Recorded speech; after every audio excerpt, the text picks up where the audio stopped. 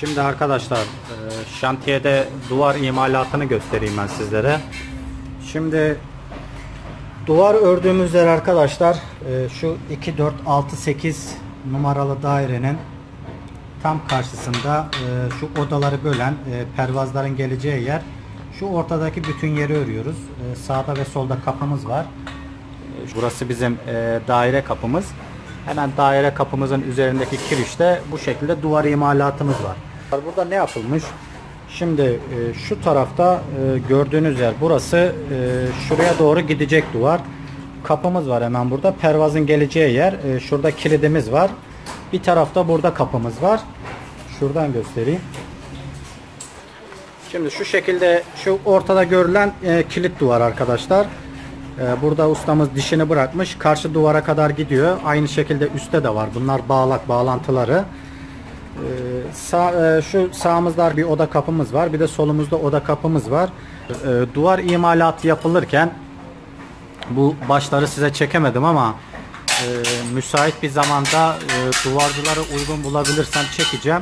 Bizim yatayda ve düşeyde duvar örürken hep iplerimiz var. Şimdi ustamız şuradan ölçü almış. Şakülünü indirmiş direkt aşağıya.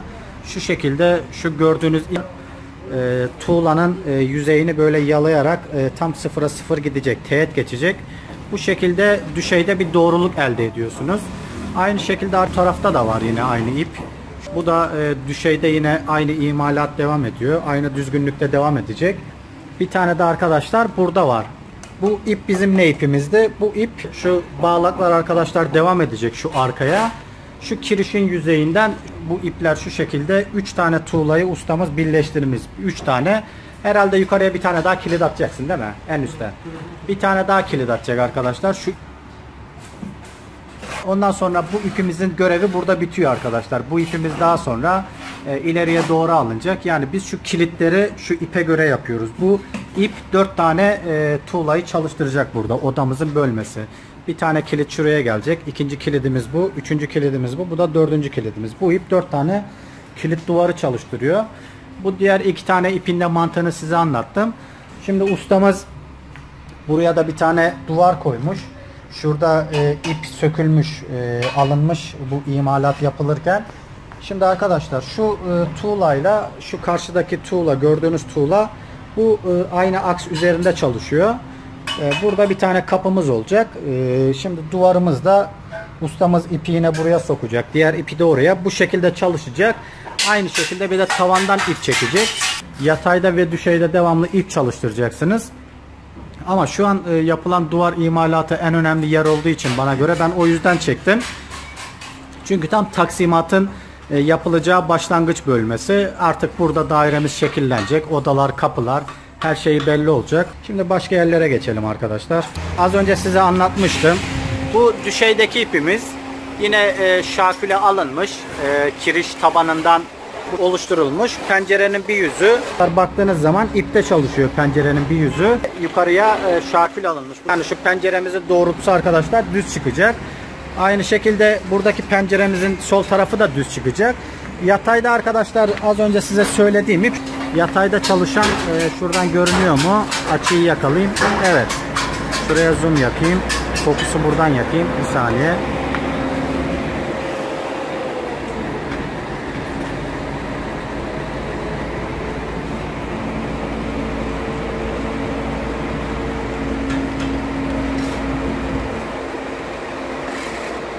İp şu şekilde evet. Şimdi biraz daha iyi oldu. İp yataydaki ipi çalıştırıyor görüyorsunuz.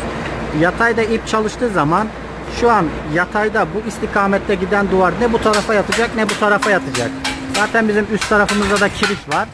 Ustamız belirli aralıklarla şakülünü çekip e, duvar imalatını bu şekilde sürdürüyor. Zaten hepsinin burada yerleri mevcut. Yatayda da arkadaşlar ip çekilip duvar imalatı gidiyor. Pencerelerimizin ölçüleri de mimari projeye uygunlukta yapılıyor. Buradaki penceremizin genişliği 140 santim, yüksekliği de 140 santim. Aynı şekilde e, bu penceremizde genişlik 140, yükseklik 140 arkadaşlar. E, önceki e, bölümde söylemiştim. Bizim kiriş taban altı ölçümüz 2.30.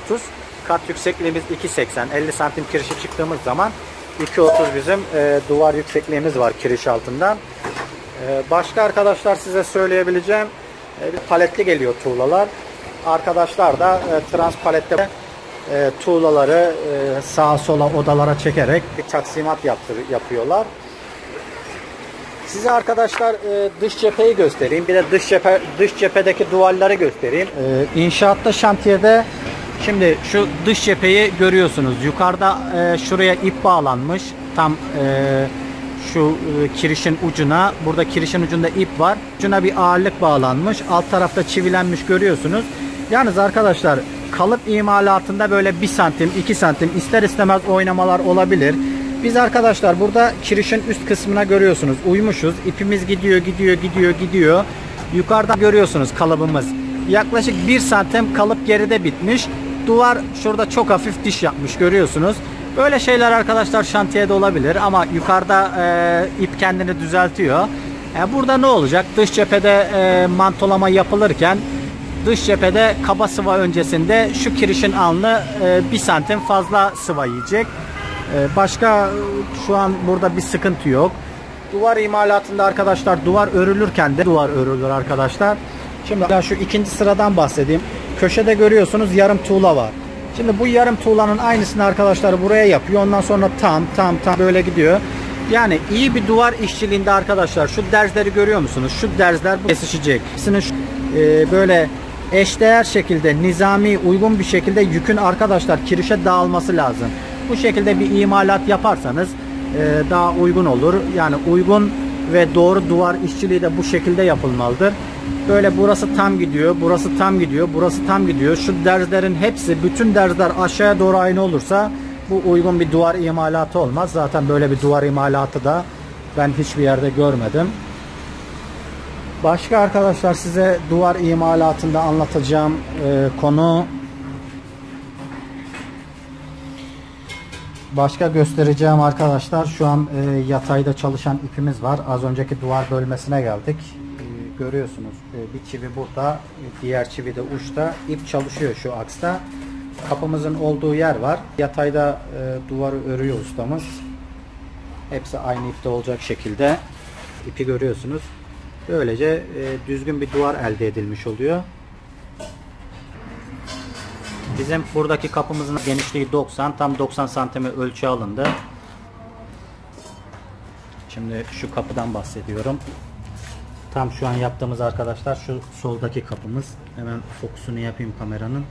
90 santim genişliğinde 2.10 yüksekliğinde. Pervas payını zaten burada bırakmıştık. Şurası arkadaşlar görüyorsunuz pervas payı bizim. Aynı şekilde 90 santim olacak şekilde kapımızı buradan bırakıyoruz. Diğer kapımız da şurada olacak arkadaşlar. Banyonun içine de bu bloka Şimdi bu bölgede arkadaşlar banyo kapımız da var. Banyo kapımızın da genişliği fokus yapayım. 80 santim genişliğinde 2.10 yüksekliğinde. Şu an şu bölgeyi örüyoruz. Aynen. Evet burada da arkadaşlar banyo kapımız var. Banyo kapımızın genişliği de 80 santim. Taksimat şu an yapıldı. Artık bir sıkıntı yok.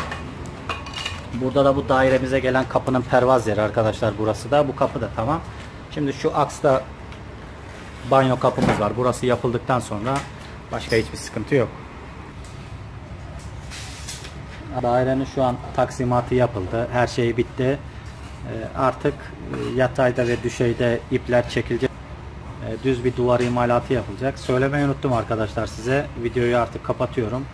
Duvar imalatına başlamadan önce kesinlikle duvarın harcın konulacağı yüzey temizlenip suyla önemli zaten görüyorsunuz.